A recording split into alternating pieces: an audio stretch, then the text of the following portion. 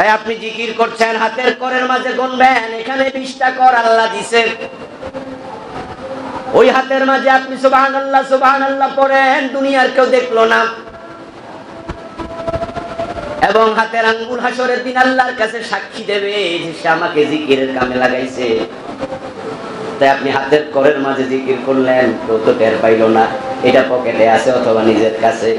শয়তান এসে কয় বরং তুমি তাসবির দানাটা হাতে নেও। তাই মাঝে মাঝে লারা মারবা পাবলিকও দেখব।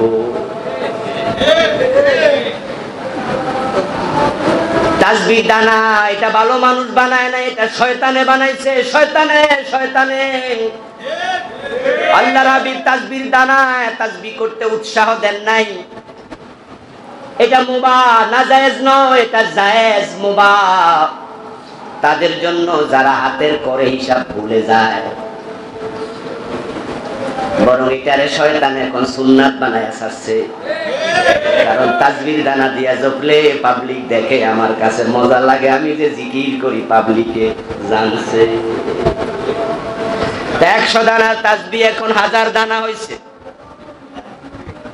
আপনার তাজবির দানা কি দরকার? আপনার হাতের কর আছে, আপনি হাতের মাঝে সুবহান আল্লাহ রাখুন, জিকির করুন। এই হাতের কর কেমতের দিন আপনার পক্ষে সাক্ষী দেবে, হে আল্লাহ। আমার সে জিকিরের কাজে ব্যবহার করছে।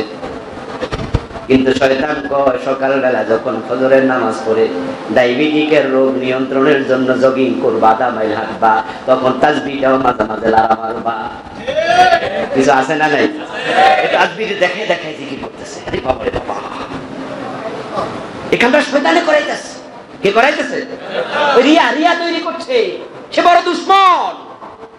সে যখন দেখবে আপনাকে আমল থেকে দূরে থাকাই সরাইতে পারে না।